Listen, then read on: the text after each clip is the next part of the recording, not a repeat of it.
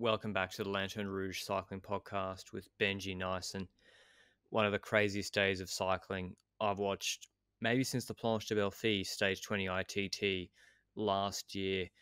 And compounded with that excitement, my internet just went down at two in the morning. So we've had a one hour delay. That's why the pod might be getting to your ears a little bit late. It's my fault. Don't blame Benji. Just come at me on Twitter. Before we get into Paris Stage 8 recap and Tirreno Adriatico Stage 5 recap, I want to give a big shout out to our show partner, Le Col. They make this podcast possible and for Benji to fit it in around all the other things he's doing, Mandalorian stuff. I don't know if he runs a blog about that or not. Maybe he should. Le Col produce performance cycling apparel. You can check them out at www.lecol.cc and they kit out Drops Le Col, partnered by Tempur Continental Cycling Team, who you'll have seen at the Healthy Aging Tour this week. Looking, I'd say, not even arguable, it's inarguable that they had the best kit in that race compared to all the other kits. That light blue, or if it's turquoise, I'm not quite sure. I'm not uh, a specialist in that regard. We also have a Ko-Fi link now down below. Some people have been demanding that we put it in there for people that want to support the podcast a little bit differently. Also helps with the photo licensing, which we hadn't budgeted for, but I think we decided it adds a lot of value to the podcast. But the easiest way you can support the podcast is word of mouth recommendations, liking it down below, or disagreeing and arguing with us in the YouTube comments. But enough of that. Paris stage eight will do first. This is a cra- going to be a crazy recap. 90 kilometer stage, three category, well, three climbs really, 4Ks at 3%, 4% Côte de, de Not a particularly terrifying climb, but technical descents. Roglic crashed at 20 k's into the stage. I saw on race radio, and but there was no live images at that stage. We saw photos of teammates pacing him back on. A break struggled to form after 30 k's of riding, and then eventually there was one with Ruch, de Klerk, Bystrøm Teuns, and co. They were joined by other riders later. Jumbo, Visma, and Bora were pacing them at 36 seconds. All was well. Roglic 52 second lead on GC looked fine over Schachmann, but then it all turned to shit with 25 Ks to go. Benji, what was the first signs of distress for Roglic? Yes, we had on the screen suddenly an image of Roglic being 30 meters behind the peloton group, riding at the head of a second group with Démare behind him and a few teammates of Démare. So something happened in this end. Now, it's been a few minutes since the race ended, so we've got a rough idea of what happened, which is good. We can get into detail now. So your internet falling out gave us a bit more knowledge about what happened. So I guess it's a, a Loki advantage indeed. And in that descent, we had Jumbo that was relatively at the front of the peloton, Roglic as well in that group. And apparently, according to Kruijswijk, who said it after the stage ended, and also according to La Flamme Rouge, who investigated it, intelligently on Twitter. Definitely check out their threads and their Twitter. Shout out for them there. Well, he crashed in the last corner of the descent with a good 30 kilometers to go.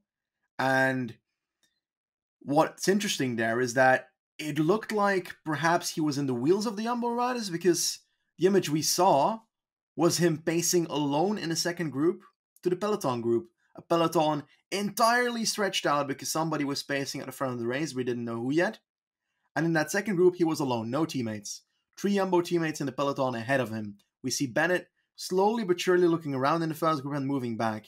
It takes a good two, three minutes for the Jumbo people ahead to realize what's going on and help Roglic. That's a lot of time you lose when it comes to pacing. Luckily for Roglic, Démare was there with a few teammates. Those teammates did help out, I'm not sure whether they wanted to help out Roglic or Démare. I think you thought they wanted to help Démare. No, Roglic, right? Well, I thought Démare was pretty much out of the stage and they were just offering a cursory bit of help to Roglic because the gap was only 30 meters. It was barely anything. It looked like a regulation. It's the same sort of gap when they go to get a bidon Benji and then come back or just talk to the team car. It really wasn't far. We're talking three to four seconds that gap. And I think FDJ were just like, oh, well, we'll pace him back on. But then the group in front started speeding up a lot. And I don't know what was happening with race radio. I don't know whether there was whether Jumbo Visma were complacent in not dropping riders out. I think it's more likely that they didn't know what was happening. Although, to be honest, that's not really an excuse because normally you have you watch Ineos and and Jumbo Visma last year. You should have your last domestique on the back wheel of Roglic, um, so that they know if they've dropped back. So they're really you don't shouldn't need race radio to know that he's in the second group. So I don't know what happened there. But then he wasn't able to close that gap, Benji, and that Démare FDJ Roglic group kept thinning out. And who did you see pacing on the front on the peloton? We saw that Bora was moving up, but Hansgrohe was setting a few riders up there. Schachmann, obviously, being very close on GC. I think, I don't know what the gap was, but 52. close enough to definitely have interest in opening up the gap. Okay, 52 seconds on Roglic. So interesting to open up that gap to Roglic more. He had, I think, three or four teammates, but the likes of a Nils Politt, so a massive engine there. We also saw that Astana at a certain point moved in because Bora was like, okay, I'm closing GC. Vlasov and Izagirre pretty close as well. So why don't you ride? And Astana decided to help out then. So those two teams were the main engines behind the people that were trying to get the peloton as far away from they Roglic dropped as riders possible. out of the break. Who was suffering? Yep, I think uh like multiple riders, even right? Two riders. Yeah. The thing about this is that well, we'll go into the details of whether we like that they pace away from a rider who crashed or not after the stage. We'll talk about the stage first, and then we'll go into our opinions on it and our takes on it. I think a lot of people have a lot of opinions for it, but yeah, we will take that afterwards. First, the stage. So the Roglic group behind, he had his teammates there. One by one, those teammates went off the front of that group, and eventually he just ended up alone because they dropped a lot of people in the process, but they weren't getting too much closer because those are individual riders like Bennett and well, so Niels forth. Politt against Stefan against Kruijswijk Nils Politt. on a false flat downhill. Yeah, that that's just it's just impossible to do that. And he obviously got a bit of help by some other people. I think Nacer Bouhanni was helping him out at a certain point. Tim Declercq was helping him out at a certain point, but that's not gonna get him too much further because those people are coming from the front. They're not exactly helping a teammate, so they're not gonna go full. Tim Declercq almost rode together with Roglic in a ravine that gave me a heart attack, basically. Like Tim Declercq was taking a corner very wide. Roglic followed his wheel because he was helping him out a bit, and they almost both rode straight into into a section there. So I'm glad that didn't happen. I'm glad they were able to brake on time. I think Roglic lost Declercq at that point as well because Declercq was braking much harder and was next to the road because of that. So Roglic, yeah, it, it was kind of done the moment that Roglic was alone and didn't have his teammates because the gap started going up from 20 to like 34 seconds in the matter of a minute. And then afterwards, it, it was slowly but surely moving up. And actually, I'm saying slowly but surely, but it was moving up quite rapidly the time. So, yeah, that's not not good for Roglic. GC over, and basically in the situation because of a crash that happened on the last descent, which is very unfortunate to lose Paris like that. But in the front group, plenty of people who are still willing to win the stage, of course. We've got Laporte who is a sprinter. We've got a Magnus Cort Nielsen with a sprinter. We've got Astana who still perhaps wants to put some some difficulty into Schachmann because Schachmann at this moment is virtual GC leader. Astana is just behind that with with Vlasov and Izagirre. So if they could try and do something, those two riders against Schachmann, it could play out. But yeah, what did Astana do to try and smash into Schachmann a tiny bit there? Well, once Bora had pulled that gap out with Cofidis help pacing for Laporte to a solid gap of about 120. You know, Astana Bora, they're all working together fine. They're like, let's knock Roglic off and then we can start to fight amongst ourselves. And this is all happening in the last 18 kilometers, which is insane. And they knew Roglic was done on GC once it hit about 130, and he looked, he was gassed, and no one was there to help him. So at that point, Astana started launching one twos. First with Yoni Izagirre trying to follow a move of, oh, I feel like it was a stage win hopeful, maybe like a Dylan Teuns, Benji, someone like that Izagirre tried to follow him, and then it was uh, Vlasov. Then once Schachmann had brought back Izagirre, countering over the top, but Schachmann was he was isolated at this point in the last eight kilometers or so, because his teammate had just his teams had just ridden full to try and increase that gap to Roglic. And Schachmann was so strong defending that position. He was in the virtual yellow jersey at that point by a long way, by over a minute in the last 10 Ks. And he closed down Izagirre, Vlasov, no worries. And then Astana were pretty much done. They weren't able to roll one twos against him. And then it's like a it's a pretty quick run into the finish, really twisty. And I think Astana's plans got ruined by all the stage hopefuls, Benji. So yeah, who were the the guys coming to the front of the group for the final sprint, which was like a twisty, fast run in with a corner in the last 200 meters. So positioning was crucial. But yeah, a few notable names up there. Yeah, Laporte and Cort were the names we mentioned earlier that were the sprinters in the group, but a lot of others were also interested in trying something. Made it came to the front for a tiny bit, yeah. but it was more Teuns that they were trying to set up for that final section. We also had Lampaert in there. He was also trying to get a bit of a proper position because he's done decent sprints in the past. He hasn't properly won one at all or near that, but he can top five a sprint like that. And in a situation like this, after a stage like today, everything's possible. So everybody worming his way to the front. But I feel like this final kilometer was really sketchy. I think that a lot yeah. of people that perhaps didn't know what the final kilometer looked like messed up the final kilometer because I swear at least one rider that was in that group certainly could have potentially won this race if he knew the parcours better. We had Magnus Cort Nielsen going into the last 500 meters in first position, so he knows he must. I need to be in this to. position to be in a good position to try and win the stage. Yeah, exactly. Laporte being in the wheel of Magnus Cort Nielsen, Dylan Teuns being, I think, just in the wheel there as well, or swinging around that wheel somewhere. Magnus Cort Nielsen taking every corner in first. He must know what is coming. And they went into the last corner. Laporte in second wheel. You would say Laporte perfect position because he's in second wheel, but the finish line is in 30 meters. And yeah. I think Laporte was surprised. He tried to get past Magnus Cort Nielsen, but yeah, it, it won't work. There's just not enough time to do so. Magnus Cort Nielsen takes the final stage of Paris Nice. I think just on parcours knowledge alone on the 500 meters, he was the strongest. And Laporte kind of messed up there, I think, because I swear Laporte could have won if he knew the parcours better. Once again, just like on stage six, Benji, Laporte not able to come out of the wheel when you think he would have been able to. But the top 10 on this stage, Magnus Cort first for EF Education Nippo. He loves a reduced bunch, messy stage sprint like in the Vuelta last year.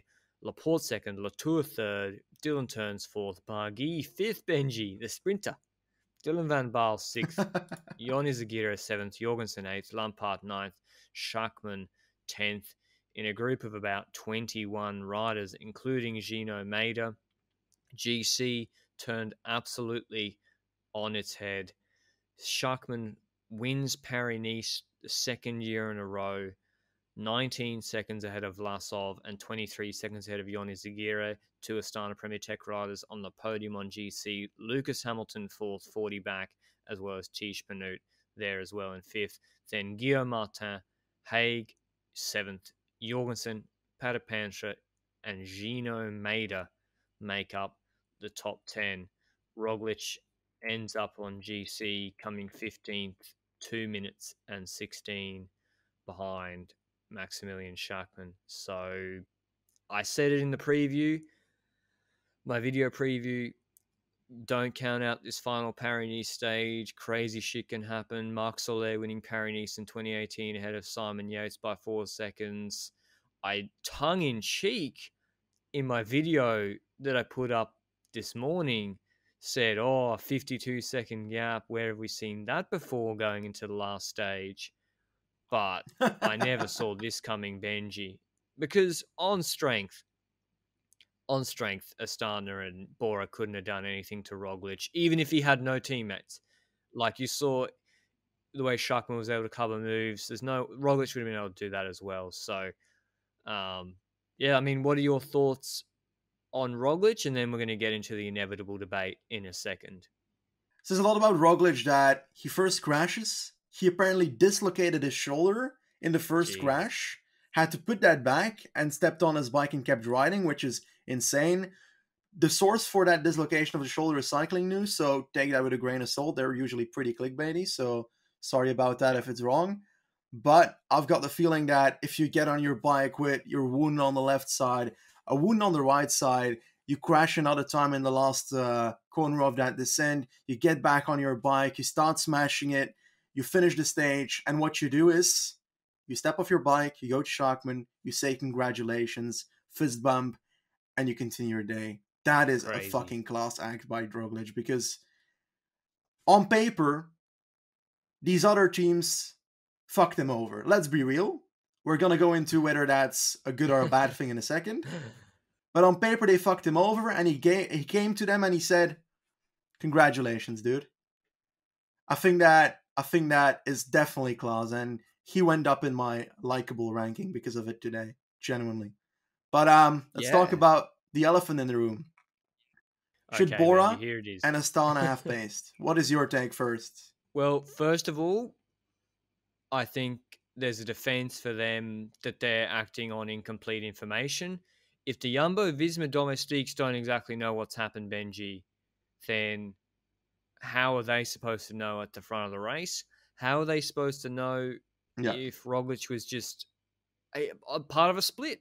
Because FDJ were part of that split. So maybe when the pace went up, he was just on the wrong side of a split. And oh, yeah, it might have been affected by the crash 70 Ks, 60 Ks earlier, but come on, you, you're still allowed to pace, anyone would say at that point. So obviously they've got incomplete information there. B, a race is a race. We said Roglic was entitled to go for the stage win yesterday, of course, and um, he crashed twice today. It wasn't Bora Hansgrohe or Astana's fault, to my knowledge, that he crashed or that they caused him to crash. I maintain this consistently since Movistar Pacing in Vuelta 2019. A race the race, crashing or not crashing is part of that race. Tony Martin and Rogler were the only guys to crash earlier in the race. Tony Martin not being there made a massive difference, Benji, as well.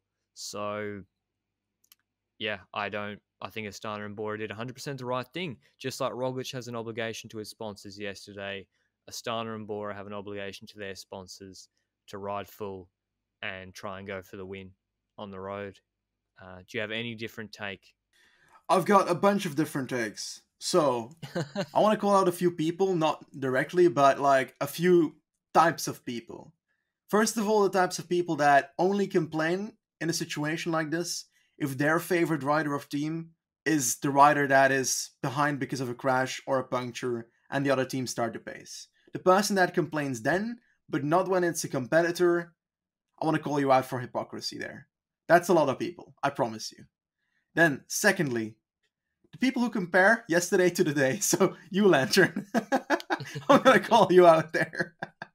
In the situation that yesterday is a racing situation where a rider is strong enough to win a race, so he has the ability to win the race and is allowed to win the race if he wants to. And there's been a lot of shit on social media about it, but I still stand by the point that Roglic is doing his job by winning that race. Today, Schachmann is also in doing that, but the different situation is that Mäder didn't fall twice yesterday. I think there's a moral difference there. But despite all that, I believe that my take on this is that let's say that a GC competitor crashes in a 200 kilometer flat stage after uh, a good 80 kilometers, still 120 kilometers of flat stage left, and your competitor crashes in the yellow jersey, I'd be like, yeah, we'll wait because it's a stupid stage to start pacing now, and it's also kind of a dick move to do it. Now, in a race where the situation is where we either have a race that is ongoing, like today, or race that is about to explode, you have the complete allowance to to keep racing. It's just it's a race, it's a bike race. They can do whatever they want because at that point you're in a situation where the race is ongoing and they shouldn't stop racing because someone else crashed. I, I don't believe that's a valid take. This is because of all the traditional unwritten rules that was uh, that were named in the past, those unwritten rules are done for. Um, we had but you just a huge debacle about it in the Contador versus 200k transition stage. You shouldn't pace 80k's in. No, I wouldn't stay. I wouldn't pace. There is a difference okay. there. If someone else would pace, I would not complain, but I'd find it pretty stupid to start pacing on a one or two kilometer flat part against a competitor that crashed. That's just my personal opinion on that. But I think the clear difference is here in any racing situation that influences the race and such. And if you, for example, are planning to attack or whatever, or even if you weren't planning to attack, if it's in a situation that could change the race significantly, you're allowed to do it. The unwritten rules have passed for years now.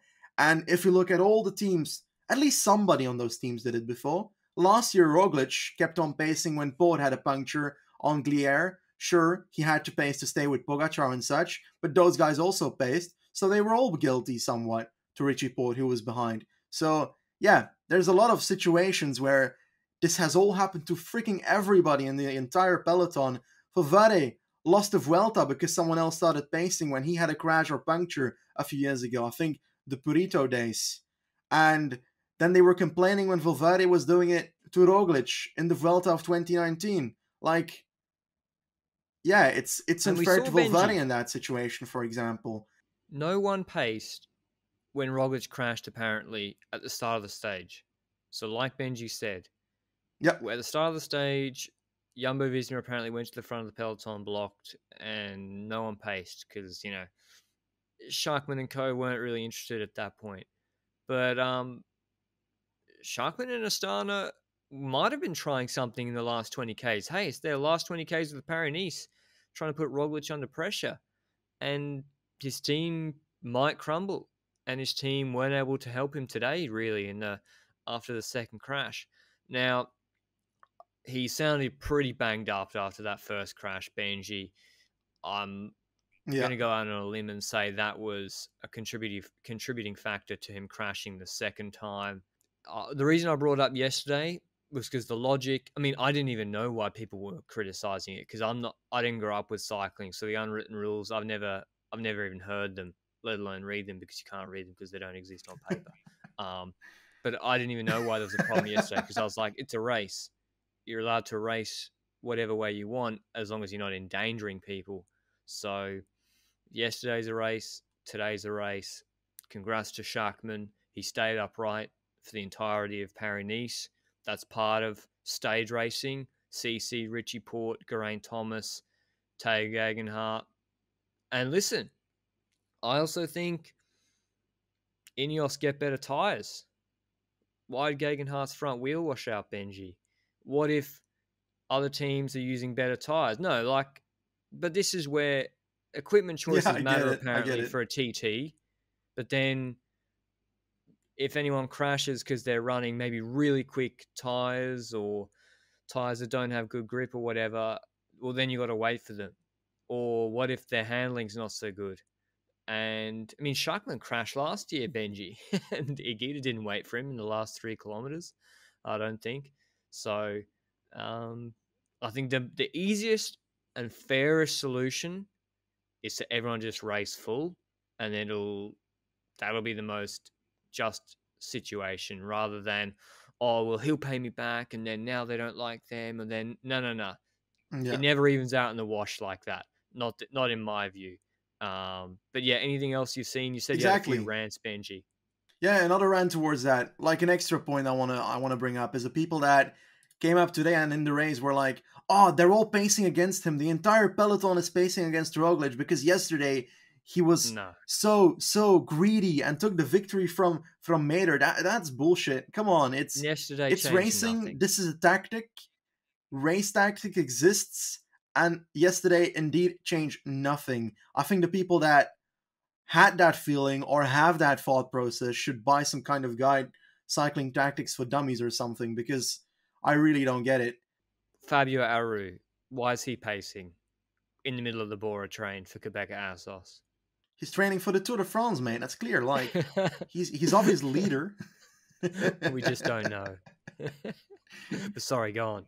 Yeah, I think the comparison that we made yesterday, we said a lot about it already on social media. It's been pure mayhem Um, but I think that another example is, let's say Roglic yesterday doesn't take the stage and he sits in the wheel of Mader, then Schachmann most likely wins the stage because it was basically just behind Mader anyway. So yeah, that situation wouldn't really happen. But then Mader would say like, yeah, this is a gift by Roglic. So perhaps he might pay it back in the future. But let's say Roglic just stays with Schachmann and doesn't make that move to Mader, then Mader will never know that it was a gift. Roglic will never get it paid back.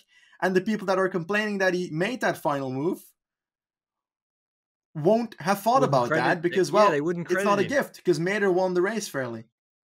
It's like it's Gaudu like you... last year, the Vuelta. Yeah. The reason Gaudu yeah. won that stage on Farrapona was because Roglic opened up the gap or let the gap open up because he didn't care about the stage. He could have easily won that stage. We know it. We know he would have won that stage if he tried. He probably but should have, to be honest. He didn't. He didn't go for it. And Gaudu, yeah, he should have done it. Uh, that's our opinion. But and Gaudu took that victory. I haven't heard anybody say that Gaudu gifted that victory ever. And Gaudu never paid that back and will never pay that back to Roglic.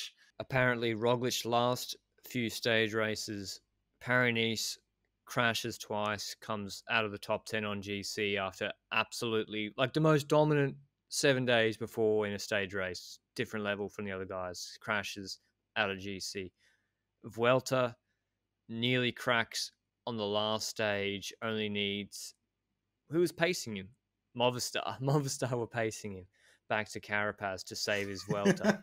Tour de France, we know what happened on Planche de Belfi. Dauphiné, uh, he crashed out of Dauphiné. And what was the stage before that? Anyway, I can't remember. But it's not been it's been really bad luck for him, Benji. Um, do you think there's a am I making it up eh, that his crashing seems more frequent than others? Are you ready to put him in the Porte Thomas category? Or do you think it's just bad luck at this point? I think we've got a lot of situations where we notice that certain amount of riders crash more than others, and it's difficult to say whether it's because they're more important that we see them more, or there's more attention to them when they crash. Because I don't know the difference there. And we never see the fucking crashes. Yeah, we, we don't know who else crashed. Like Gaudu crashed today. We haven't heard about it uh, perhaps three times during the entire oh, really? day I've heard about it. So Gaudu crashed roughly at the same moment that Roglic crashed at the start of the stage. He DNF'd. He's not in the race after the stage. Well, obviously because Paris-Nice is over. but um, yeah, yeah, nobody talks about that because Roglic is the higher person. So we don't know whether the other these other people also crash just as much, and then it's difficult to judge whether whether it's him being not a good guy at steering, which I doubt because he seems to be a pretty uh a pretty nifty rider on the bike. No, I disagree. I disagree, Benji, strongly. Well, just I think like handling wise, solo, absolutely fine, perfect. I think bunch anticipation, waiting for people to move, gaps opening up, maybe not as good. And I know he's banged up at this point, but one thing came out to me, a couple of things. He was following Declercq's wheel, not following the road on that descent, and just almost followed de Klerk off a ravine. Second was when he was passing the quick step group initially on the road. When he was trying to pass them, he nearly crashed because he almost rode into a rider and they he didn't like anticipate that they were moving along the line in a certain way. And the reason why I say maybe the crashing is not just bad luck is because a lot of his crashes are just him. So Vuelta 2019, not his fault. He got taken out. Not his fault. Geoghegan Hart, that was just him, not Gaudu's fault at all. But Roglic, a lot of his crashes seem to be just him. The one with Tony Martin was just him and Tony Martin. The one today, the second one, was just him, although he's banged up. So I'm not definitively calling it, but it is something I would be thinking about. Whereas Pogacar, we saw, you know, we've seen previously in the wet and yada, yada, yada. Been riding a bike since he was three seems to not have these crash issues. Sagan famously never, never crashes. So, yeah, do you think I'm blowing that out of proportion, Benji, or is it just something you're re- you're just going to monitor? No, I think I'm going to monitor it. I think that you're pretty um, yeah, you, you're obviously good when it comes to the facts of these because this all happened the way you say it does, and obviously that's one of the conclusions you can definitely take out of this. I think one of the other conclusions is that we're still at the standpoint where I believe that Jumbo is very bad at adapting to situations, and I think that's perhaps a bit of a DS issue at this point. Not necessarily that they're bad DSs, but that they sometimes don't quickly adapt to a situation that is going on. We saw it in the Giro stage uh, where he crashed in uh, the descent of that Civiglio in 20, uh, I don't know, 17, 2018. We saw uh, during, I think we saw during the last Vuelta, of course, the jacket issue. No, yeah, the reactions of the DS to that felt a bit like late. We obviously don't know what's happening inside the car, but from the outside perspective, this is what and we I never noticed. get transparency afterwards. Exactly. And today, kind of exactly the same situation because if you ride a crash in the last corner, you're gonna know somehow. He's likely gonna say it on his on his microphone. Perhaps Roglic didn't say it quickly enough because he was in all the chaos, getting on his bike, trying I mean, to get his- to the front dude, again. His shoulder might have been fucked, and he couldn't Yeah. press the thing. Yeah, the dislocation was in the first crash, not the second one, just to be sure. He uh his chain was off though in the I second know, but crash. his shoulder would still be sore. Yeah, you're right. So um yeah, the reaction from the DS to like do something, the fact that Roglic has to pace two minutes and a half ahead of a group alone before anybody from the first group goes back to him. It's just also weird that it all goes so slow and I think Ineos is so much better prepared on any crash and stuff and anything happening to their riders to Oh, quickly yeah. react to it. Dude. And I think they train on it as well. UAE tour. When that crash, when Adam Yates went down, go and I want someone to get a stopwatch out, go to my video, watch it. Luke Rowe throws his bidon straight. He throws it out, and he's within two seconds on the radio. With the and like it's just instantaneous. He goes into that mode, and now whether even if assuming giving them the benefit of the doubt that team radios weren't working, whatever, they still don't get a pass because if you're Kruijswijk or Bennett or Uman, whoever it was at the front group, and Primoz isn't in your bubble, what you know what's going on? That should be alarm bells ringing, and you should one of you at least should be dropping back ASAP. So whether that would have made a difference if Roglic got back into that first group, I think it would have. I think if they bridged him quickly into that first group, Benji, then Bora probably knock it off, and then Astana and Bora just attack each other in the last eight Ks, trying to get onto second on GC, uh, or Tiesj Benoot, etc. Um, but yeah, it's it's a real shame for Roglic, and I hope he comes back in Basque Country. He'll come back strong. He showed again that he should be a Tour de France favourite, joined up there with Pogacar. Um, doesn't really change my opinion in that respect too much. But yeah, any last thoughts on this Paris stage eight, Benji? Crazy stage. Crazy stuff. I think that coming out of this Paris, Schachmann is likely happy about winning it. He's gonna feel a bit meh about the situation that he won because Roglic crashed.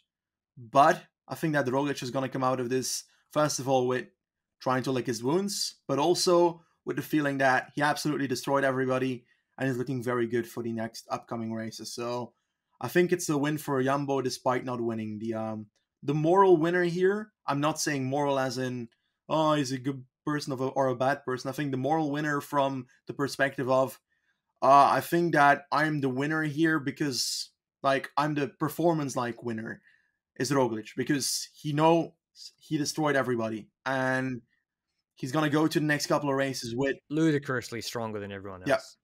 so uh yeah, Roglic probably pretty happy about how this Paris went despite the outcome not being the optimal one. I don't think he'll care too much that he lost Paris. It's only Paris. I think that yeah, other races are more important, definitely to him. And he's gonna step up at the start of the Tour de If France there's anyone that as one of the two favorites. if there's anyone that can lick his wounds and come back and not, you know, compartmentalize a bad result, it's Primoz Roglic. He proved that last year after the Tour de France, which was much more devastating than this Paris uh, by far. So he's got maybe the strongest mental ability to just look past negative things that I've ever seen in an athlete. It's crazy his ability to do that. Even by the time he got to the finish, he seemed to have accepted it. And as Benji said at the top of the show, fist bumping Schachmann. So, yeah, I can't wait to see him later in the season. There's still some question marks, though, about team composition, etc. Uh, for Jumbo Visma, but his legs look fantastic. Congrats to Max Schachmann. Really happy for him. Seems like a funny and nice guy. And he acknowledged Benji even before Stage 7 in an interview. He's like, Yeah, I mean, we could try, but what are we going to do yeah. against Roglic today anyway? So, I mean, we all know who was the strongest across this last week. This was our Paris Stage 8 recap. Make sure you let us know in the comments on the YouTube video or on Twitter what you think about, um, yeah, Bora pacing, the stage overall, Roglic. I'm sure a lot of you have some pretty, some pretty hot takes about the whole thing. If you want to check out our show partner, Le Col, their link is in the description. Uh, if you want to check out the best performance cycling apparel out there.